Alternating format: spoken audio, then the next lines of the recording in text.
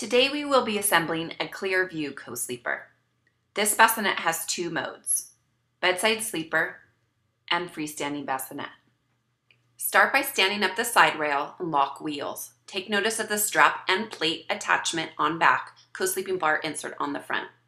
Attach the storage basket to the bottom side rail. Insert screws. Do the same on the other side, lining up the plastic hooks at the end of the storage basket rail with the screw holes. Use your screwdriver to tighten all four screws on the storage basket. Wrap Velcro flap over the short bottom rails and secure. Do the same on the opposite side and then wrap the Velcro leg covers around the leg extensions. Drop the sleeping nest between the side rails, connecting the plastic hooks of the stationary rail in place. Insert the removable rail into the female receiver on side. Repeat on the other side with the spring. Insert screws into the stationary rail. Next, attach the back rail by lining up the plastic hooks with the screw holes. Insert screw and tighten on both sides. On the end of each side rail, wrap the Velcro tabs around the bar, one in front, two on top sidebar. Repeat on the other side. On both co-sleeping sides, wrap the Velcro flaps around the bar, securing to the front.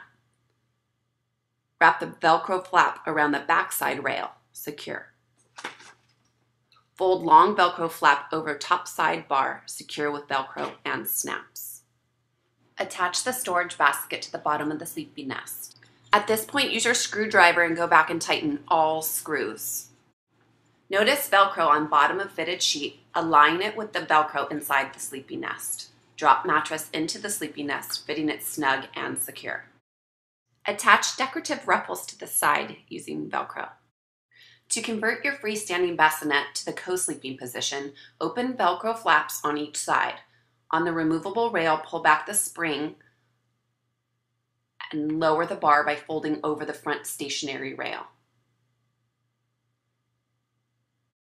Secure the lower bar by tucking bar into the fabric and wrapping Velcro around the sidebars.